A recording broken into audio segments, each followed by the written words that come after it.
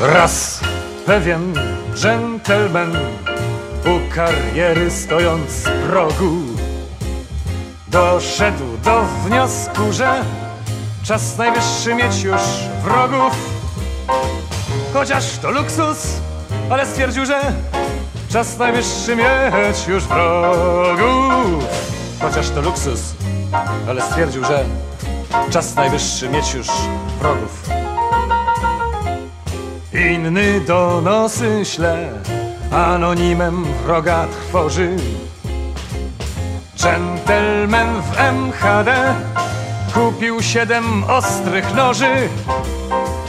Chociaż to luksus, ale w MHD kupił siedem ostrych noży. Chociaż to luksus, ale w MHD kupił siedem ostrych noży. Nóż pierwszy, pierwszy nóż służy do ścinania łodyg. Kwiatków, co rosną już, rosną już na pierwszym wrogu.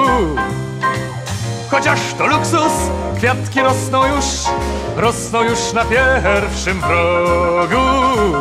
Chociaż to luksus, kwiatki rosną już, rosną już na pierwszym wrogu.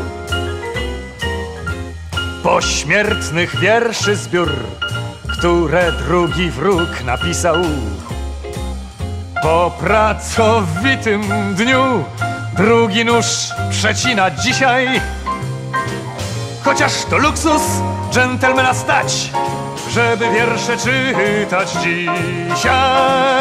Chociaż to luksus dżentelmena stać, żeby wiersze czytać dzisiaj. Kolejnych noży trzech przez czas jakiś nie używał. Wreszcie trafiło się naraz wrogów trzech szczęśliwie. Chociaż to luksus, lecz bliźniaków trzech, trzech trafiło się szczęśliwie.